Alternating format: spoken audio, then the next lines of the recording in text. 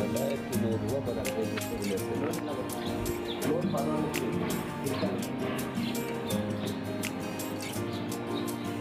पाना